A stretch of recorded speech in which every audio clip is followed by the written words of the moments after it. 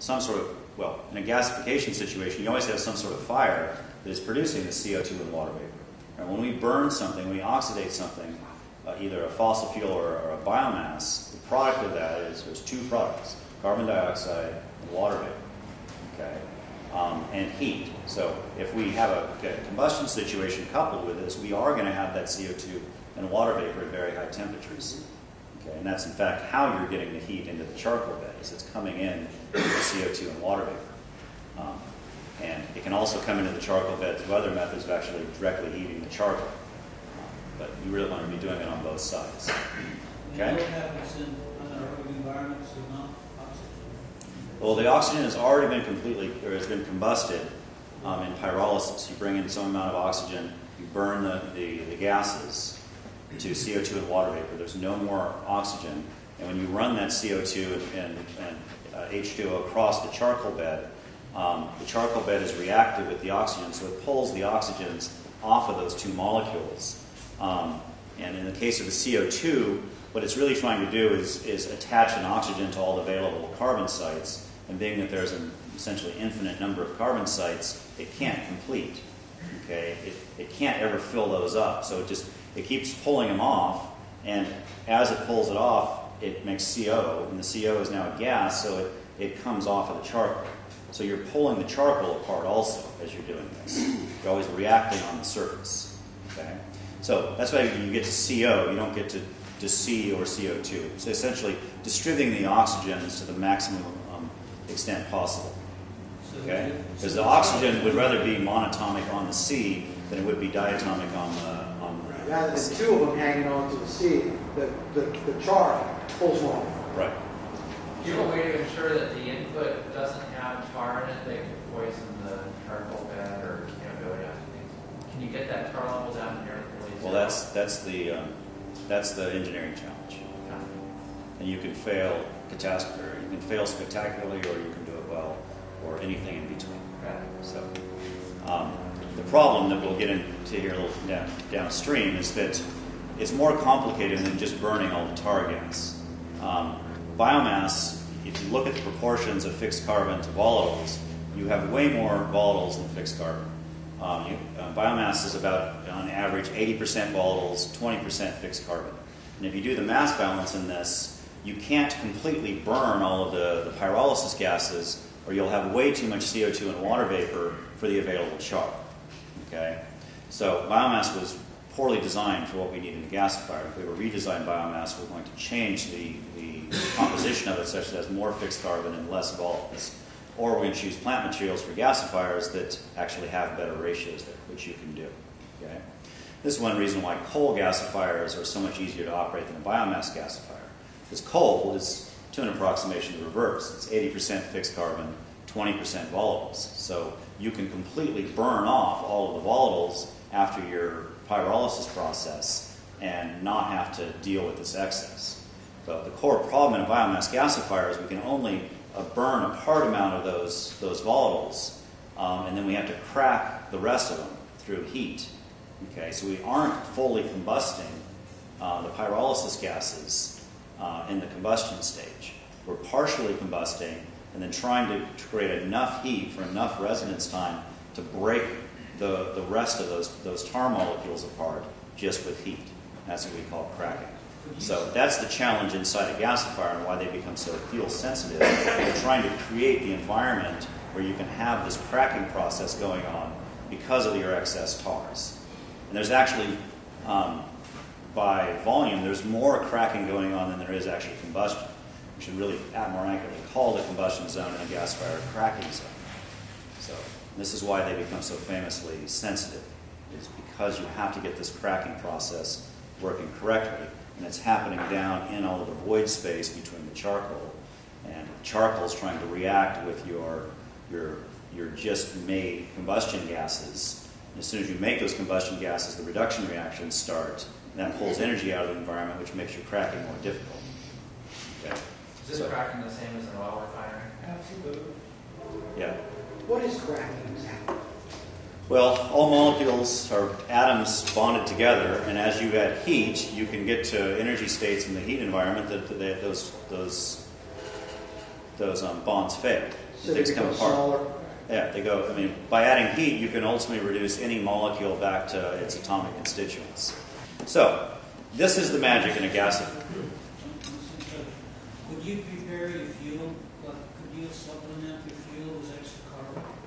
So if you put in biomass, so just pile up a bunch of coal in there, a little, you know, whatever it takes. Yeah, I mean, if you have it, you can. But I mean, most of us are trying to work with the waste biomass that we have around. So the challenge is to redesign the reactors so that they don't have these problems, and that can be done already. It is being done. That's what we're doing here.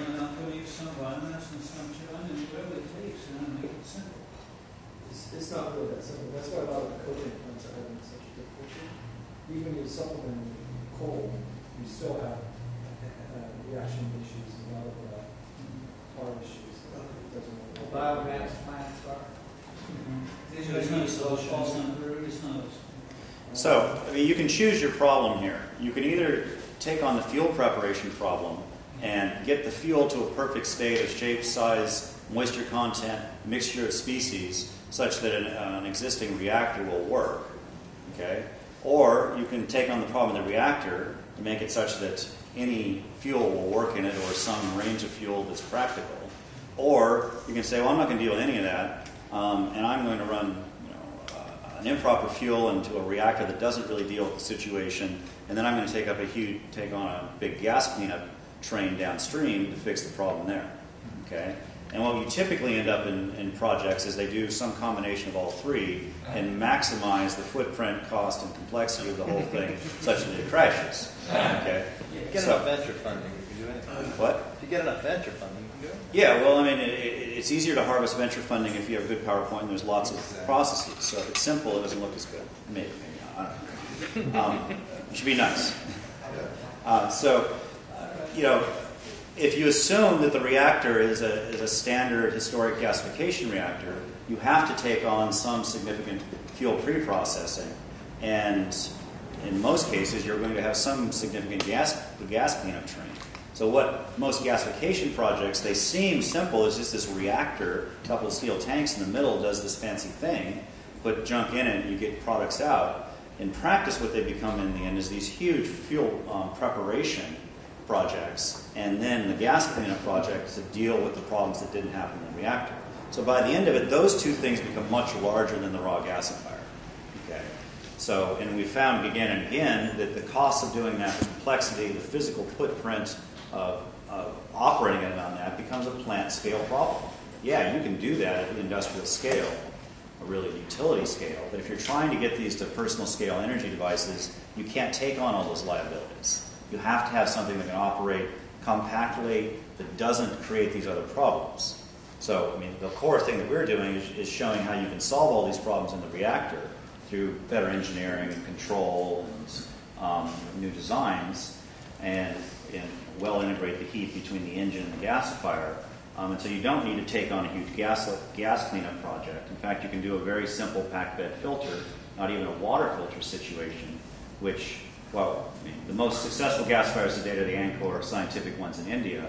Um, and all of those designs are working with a relatively high tar gasifier um, that are then, then doing a large water cleanup train after that. And all the projects end up with a big black slurry pond around them, which is a huge issue. So as they get a little larger, then they take on a, a whole nother process to deal with the slurry pond. Okay, so it, it, if you're going to try to make these on the appliance model, the personal scale, this is a washing machine. You stick stuff in. You got to solve the problems in the core gasifier, okay, and not propagate the problems outward. And the good thing is that that work wasn't really completed back then in, the, in, in World War II and all that. There's still some improvements to be made. Oh yeah, That's what's cool about it. Because Yeah. they didn't perfect it, now you can. Yeah. Well, I'm shocked that this hasn't been solved. It was sitting there unsolved, and it's very solvable. So, um, and when you have the solution in, you can build it out of junk with your MIG welder. So, um, we should we should only be lucky to have this interesting problems elsewhere. Okay, so the magic of a, of a gasifier are the reduction reactions. Um, we should think of it as the opposite, opposite of oxidation. We're stripping the, the, the oxygens off of combusted molecules. Or the products of combustion, CO2 and water vapor, re- returning them to a, a, a fuel gas. Um, that process takes energy to do it. It's endothermic. It's the opposite of oxidation, where we're we're releasing energy as we burn. Okay, so this is really one of the things that makes gasifiers actually work is that reduction is an equal and opposite reaction of ox- oxidation. So the degree to which you burn something, you'll get an equal and opposite reduction of those combusted gases if you have a charcoal environment. Okay, so you can literally take a, a pipe, fill it, you know, fill it with charcoal, start burning on one end, and to the degree to which you propagate combustion, you'll get an equal and opposite propag- propagation of reduction. Okay, so this is what allows them to be self-regulated. You can, you know, you can increase or decrease the, the gas speed through there, or the oxygen in, and you will expand or contract your, your combustion zone, and you'll similarly expand or contract your reduction zone. It's self-regulating, as long as you're not adding any other oxygen into the system. Yeah, and from your beginning, did you, was it necessary to experiment with different types of, uh, these modules and how they fit together, the size of the holes and stuff, to have more control over the various processes? Uh, Yeah, Just to make it simple, I mean, if you, right here, I'm looking at about a five inch diameter hole on this. If it was seven, it, would it affect the process? Well, that's more on the mechanical side. I mean, the problem in a gasifier is it's it, it's not a single variable, and we'll get we'll get to that through through here in a little bit. It's a it's really a three-dimensional puzzle that involves uh, thermal, chemical, mechanical, and gravimetric issues. And you're trying to solve these four these four, four problems simultaneously. And unfortunately, their solutions or their optimal solutions, their ideal solutions, are in no way parallel. And I'll I'll show you some slides here in the end that actually formalize those about what relationships you would like to have thermally and chemically, and you see that they aren't the same at all, which is the beginning of the problem of designing a gasifier. Trying to figure out how to get those things back in line. And the size of the hole in that really relates to a, a, a mechanical issue. Solid fuels are difficult to move. I mean, there's a reason we use liquid fuels. Um, they're very simple to store, they're simple to, to, to pump, valve, control. Um, Gas is a little less so, but I mean, solids are famously difficult to transport. The solid materials handling world is a completely separate animal than the, the plumbing world of moving of, of moving liquids, and the gas world kind of combines with the liquid world. But solid material handling, I mean, there's all the same pumps, valves, diverters, check valves, you know, all of those functions we have in the solids world, but they're they're big machines that are difficult and they get stuck, and it's it's not an easy problem. Okay, so yes, there's been a lot of work deciding the size of that hole and how to move things through it, and that's the minimum we think we can get away with. Okay, so uh, four processes: drying, pyrolysis, um, combustion, reduction. In an actual reactor, these go, go together in different ways. And we're now going to go through the, the, the core types of reactors. The most simple, simple way to, to look at these in an actual uh, reactor situation um, would be a charcoal gasifier. Uh, if you would imagine a closed vessel, um, this is the, kind of like the pipe example. In a closed vessel, you fill with charcoal, have some provision to bring air in the bottom, and pull gas off the top. This, again, this is a closed vessel. Um, all of these pro- processes uh, assume that you, you're controlling where the oxygen is coming in and not allowing it to come in randomly So it's very different than a, cap, a campfire. There's a controlled oxidation environment. So if you bring air into the bottom of, a, uh, of the sealed vessel, um, combust some amount of the, the, the charcoal in there, you'll get that combustion zone propagating forward until you run out of oxygen. That burning process produces CO2, water vapor, and heat.